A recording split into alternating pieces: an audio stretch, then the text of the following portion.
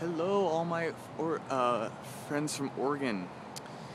This is certainly a rare sight in Oregon. That is an old Sterling siren um, that was used by the Tualatin Valley Fire and Rescue for the volunteer fire department. I'm going to walk over here and I'm going to get some better views of it. Uh, I know it's behind the trees. Oh, what kind of better view is this? What the hell? I gotta make sure I don't get the modern station in there. I'm just interested in the siren, but um, think you guys can see that from right there. Yeah, yeah, you guys can see that from right there. That would be the old Sterling siren with the cover on it. The cover looks like it's eh, kind of in the best shape at the moment, but you cannot really tell. This building is obviously abandoned. I'm gonna walk up here and I'm gonna uh, try to get some better photos of it. Here, I'm just gonna get the sidewalk for a second. Well, I think I can show the old building. I don't think they have a problem with that, but yeah, here's the old building.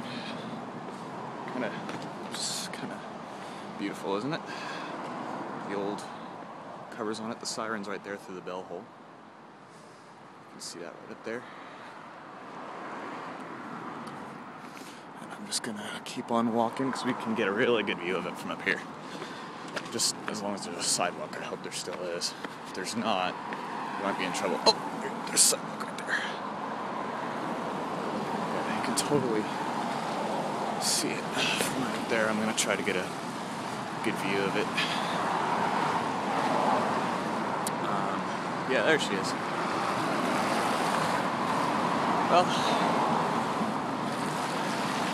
I'll say to you guys, welcome to the closest siren you guys are going to find in Oregon. Yes, my friends, that is an old Sterling. Uh, like I said, used to call the volunteer fire department, but it's no longer used now. Uh, I don't know when the station was put out, but it was put out at some point. And that's all I know. Uh, as you can see, there's a little vent cover on it, and it's pointed out over that way. Yeah, but this is, um, this is, I'll tell you guys, this is actually right next to Fire Station 58, which I, uh, like I said, I can't uh, record, you know, get it on camera, but I can get this beautiful thing on there. Um, it was said that when it was on, it could be heard from about the Lake, Lake Oswego area. Um, trying to get permission from the city to uh, restore it and conserve it. Um, so I mean, it's not used anymore. So I mean, you know, why not?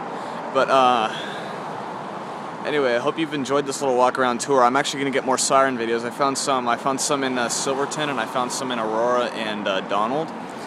But uh, so far, that's what we're to have. I'm to get some still pictures of it up. Uh, so yeah, if you check out my uh, Facebook page, I will uh, put some over for you guys. But anyways, hope you guys enjoyed this little video. This is my first siren video. And um, we'll hopefully be getting some uh, Thunderbolts down in Waldport if they haven't replaced them. Uh, walk around tours of the decommissioned Allertors and Thunderbolts down in uh, Trojan, and hopefully we'll get some of the Model 5s and Model 2s and standard tone lows and 2001. Holy crap, I could go on with this all day. but um, yes, that's uh, that's gonna be it for now. We'll be back on later.